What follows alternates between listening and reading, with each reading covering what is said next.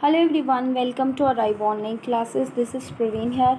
Today's MCQ for biology is carbon dioxide combines with hemoglobin to forms.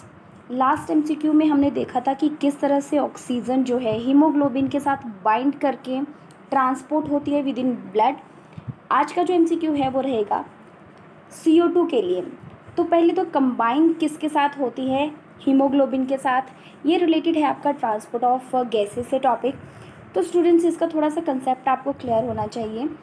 कुछ चीज़ें मैं आपको बताऊँगी। जैसे कि सी ओ टू है, यहाँ पे हम सी ओ टू की बात कर रहे हैं। तो ये जो है अबाउट सेवेंटी परसेंट ट्रांसपोर्ट होती है as bicarbonate ions okay और आर के साथ हीमोग्लोबिन के साथ usually twenty two twenty five percent ये ट्रांसपोर्ट होती है। तो ये भी आपको ध्यान में रखना है।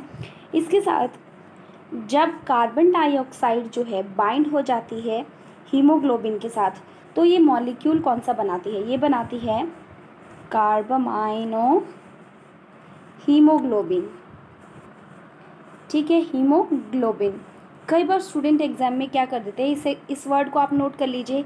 इसी की तरह दूसरा वर्ड है, जो आपका है कार्बोक्सी हीमोग्लोबिन तो कई बार स्टूडेंट इसको करेक्ट करके आ जाते हैं।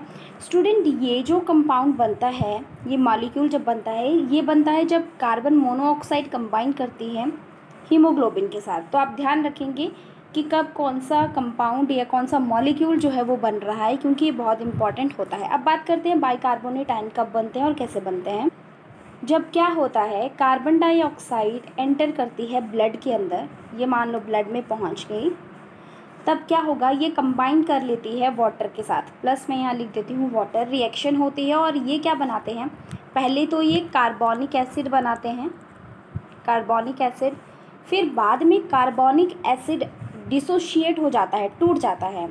कार्बोनिक एसिड मैं शॉर्ट फॉर्म में लिख रही हूँ यहाँ पे। ये क्या बना देता है? हाइड्रोजन आइंस बनाएगा। प्लस हाइड्रोजन आइंस के साथ और क्या बनेगा? Bicarbonate ion C O negative three H C O negative three ये है बाइकार्बोनेट आयन और इनकी फॉर्म में जो है ट्रांसपोर्ट होती है about seventy percent of carbon dioxide in ions की के साथ जो है वो एक तरह से ट्रांसपोर्ट होती है। आप देख पा रहे हैं, ठीक है? तो ये आपको सारे क्वेश्चन याद रखने हैं और जितना मैंने आपको बताया कि कौन सा मॉलिक्यूल बनाती है तो अब आप यहाँ पे इसका आंसर एग्जैक्टली निकाल सकते हैं।